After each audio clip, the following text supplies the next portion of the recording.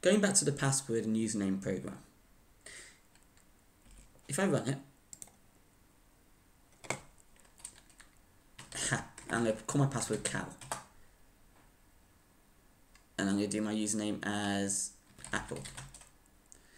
The problem is this. Let's do it again. And I want my password to be wrong, so I'm just going to do it. It's not giving me a chance to enter in another password. It just goes to error. If I type a username, uh, error. It's not saying, okay, great, you got it wrong, have another go. It's just saying error and moving on.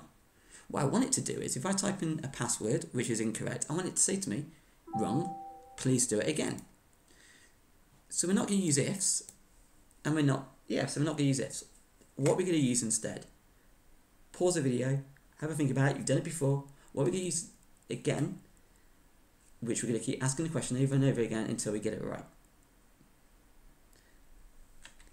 Correct, while loop.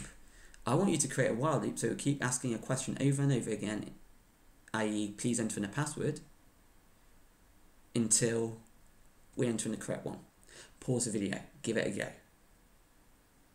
Okay, here's the solution.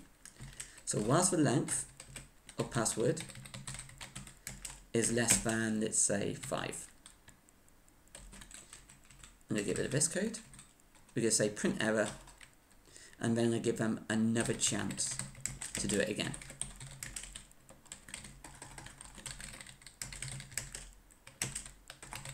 Please enter a suitable password more than 5 characters. And if they get it right, so if they get it right, they'll break the loop and we'll move on to this code. So if I run it, my password is S, S, O, poo.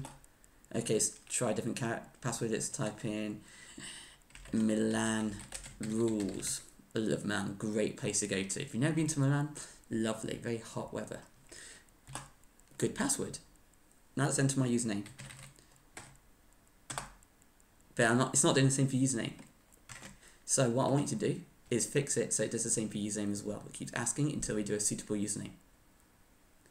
When you've done it, show your teacher.